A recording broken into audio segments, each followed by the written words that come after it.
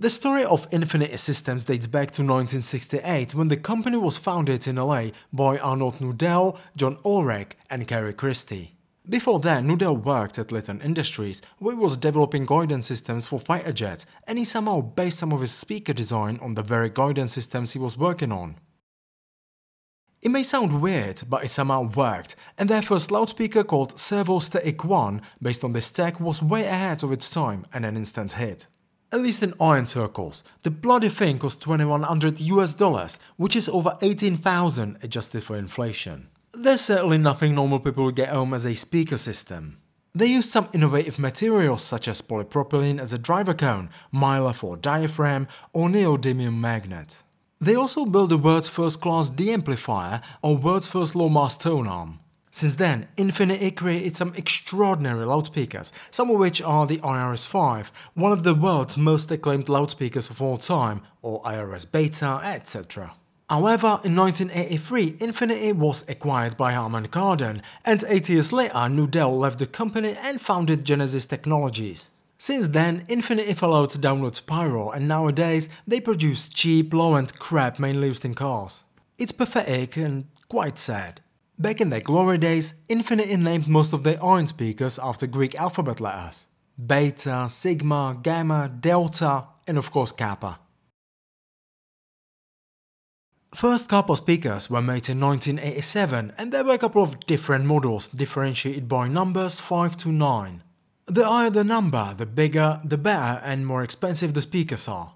These first original Kappa 9s were 5-way speakers that cost 3000 US dollars, which is about 8000 today. They were known for being a bit harsh on the amplifier.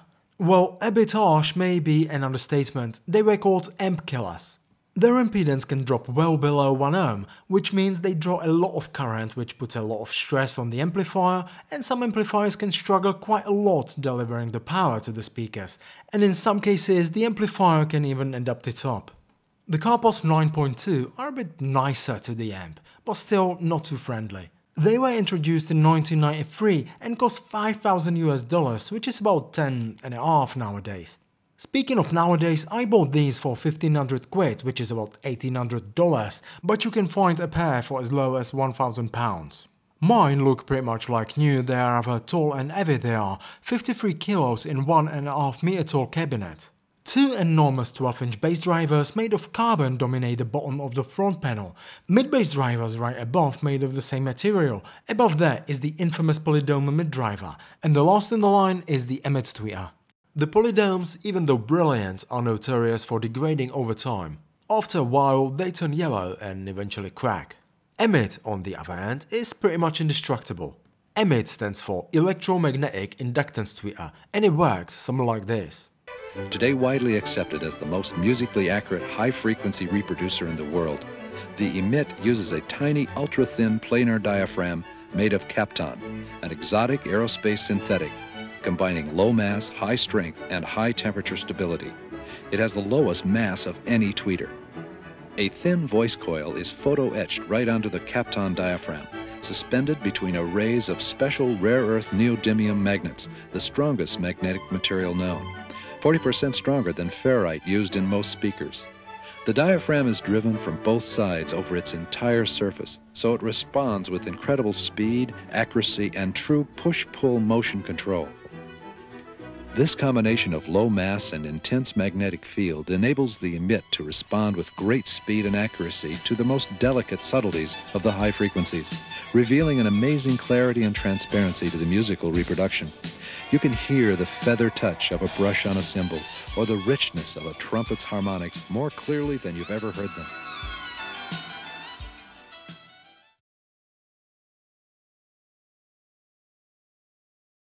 Specifications pretty much never reflect if you fancy the sound or not, but let's have a gander at what Kappas can do. Frequency response ranges from 27Hz to 35 kHz. For that you need an amplifier rated at least 60 watts, the more the better of course. Impedance is 4 ohms, and with extended bass response it drops to 1.6 ohms. That means if your amplifier is not powerful enough, this switch located at the back of the speaker can help a bit. There are two positions, extended and normal. According to the manual, the extended position is the default position and it enables full range bass. The normal position cuts off the lowest bass frequencies to get a load of an amplifier. So technically extended should be called normal and actual normal should be called something else, cut off or safe or something like that. It helps them to breathe and the bass gets a bit cleaner. Speaking of which, if you want to fully utilize their potential, they need a bit more power than your average speakers. I mean they need power to open up, they're not bad when you're listening at very low volume levels, however you need to give them a bit more to sound excellent. Don't mean to listen to some extremely loud music, 70 dB is where they sound almost perfect. That being said, they're not suitable for very small rooms. Also, if you live in a block of flats, Kappa speakers can be a bit uncomfortable for your neighbors. They may not hear what you're listening to, but they can certainly feel it. Pretty much all iron speakers support biamping, and Kappas are no different. Unfortunately, I can't test it at the moment. I don't have two same working amps I could use for that. A little bit bland to my taste, with no substance. They're not ugly, but certainly not as pretty as the first Kappas, just ordinary looking speakers.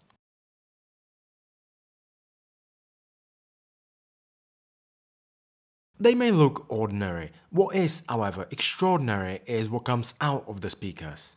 To describe the sound, I'm not gonna use bunch of nonsensical audiophile adjectives, I'll try to describe it in my own words and compare it to the sound that some other speakers produce, namely Yamaha NS1000M and Infinity IRS Sigma. The Kappas produce very deep bass thanks to two massive 12-inch drivers. Very low frequencies can be felt through your body and unfortunately for your neighbors, even through the walls. If you listen to your music at normal listening levels, it's actually a rather nice feeling which can't be achieved by speakers like NS1000Ms. The bass is clear, but not as clear as the NS1000Ms or Sigmas produce. It's certainly much deeper than that of the NS1000Ms and just a tad deeper than that of the Sigmas, which is quite a feat on the Sigma side since they've got only one bass driver. Mids are clear, detailed and rather spacious. Again, compared to other speakers, both NS1000 amps and Sigmas are as clear as Kappas. However, Yamaha's lack a bit in detail and Sigmas are a little bit better. Space-wise, the NS1000Ms got a bit smaller soundstage, while the Sigmas got larger. If properly set up, you won't hear the sound coming out of the speakers. The speakers just disappear and you can enjoy almost lifelike music that's coming from behind the speakers. Eyes are very crisp and detailed, yet not too squeaky or uncomfortable. Both the Sigmas and NS1000Ms seem to be on the same level. If you wanna experiment, and you should, you can fine tune the sound with these pods. The change in the sound is quite subtle, but it may help a bit if you for instance feel the bass is not deep enough. Instrument separation is brilliant, you can clearly hear the instruments are not blended together as some other speakers make them. I'd say the NS1000Ms are on par and the Sigmas do a tad better job. The sound overall is warm and very pleasant, like it's caressing your eardrums even at higher listening levels. They're very similar to the Sigmas, the NS1000Ms are way too neutral sounding for my taste though. Unfortunately, it's useless to let you listen to any comparison, the entire chain, my mic, YouTube and finally your system will change the outcome substantially. The Kappas are blood impressive speakers, I love how they sound. They're not suitable for smaller rooms, they sort of compress the soundstage and the speakers don't open up as they do in larger rooms. They're not as clear sounding as Yamaha NS1000Ms or IRS Sigmas, the soundstage is certainly larger and nicer than Yamaha's, but a bit worse than Sigma's. The NS1000Ms sound very neutral, which is their biggest advantage, but not for me. I fancy a bit warmer sound coming out of the Kappas or even better sounding Sigmas. The Sigmas sound very similar but overall a bit cleaner, with larger soundstage and more detailed mid. Moreover, the Sigmas certainly look much nicer. The Kappas 9.2i are certainly worth the money they sell for nowadays. You can only find anything better for the price made today, or twice or three times as much for the matter. If you've got a good and powerful enough amplifier, you've got enough room, and you don't want to spend an arm and a leg for some new speakers, the Kappas can certainly satisfy your needs.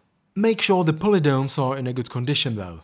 If they're not, you can buy a replacement from Scanspeak. Not sure about how accurate the sound is compared to the original though.